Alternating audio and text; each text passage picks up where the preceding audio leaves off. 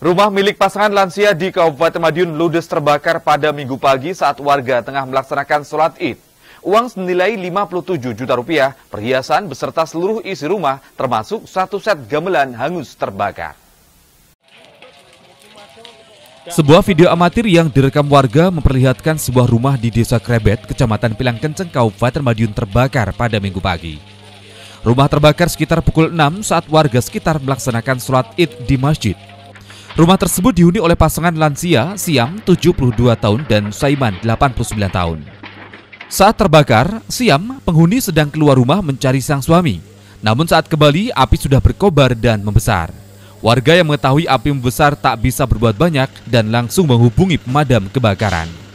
Sebanyak tiga unit mobil damkar dikerahkan untuk memadamkan api. Akibat kebakaran ini, rumah pasangan lansia tersebut hangus rata dengan tanah. Uang senilai 57 juta rupiah yang sedianya untuk membeli sapi yang disimpan di kasur turut terbakar. Sementara rumah dan seluruh isi termasuk satu set gamelan Jawa dan perhiasan juga habis terlalap api.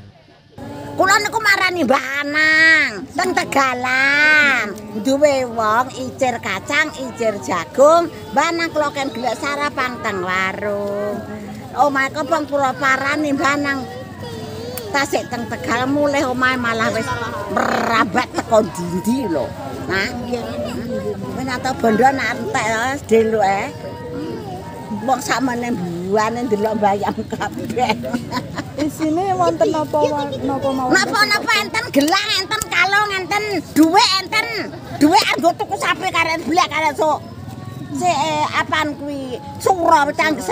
Dugaan sementara kebakaran dipicu adanya konsleting arus pendek listrik.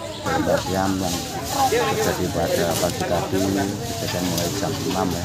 Kita dari warga kami kita pada wasit dia kebingungan karena yang uh, rumah belakang. Juga itu kebakaran baru lari tolong warga cuma bisa sholat tidak bisa membantu. Akhirnya walaupun sholat itu belum selesai namun setelah sholat untuk khotbah itu sebagian banyak yang lari menuju sini tapi tidak bisa membuat pertolongan apa pun.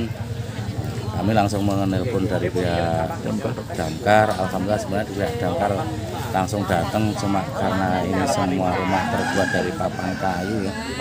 Semuanya tidak nutup.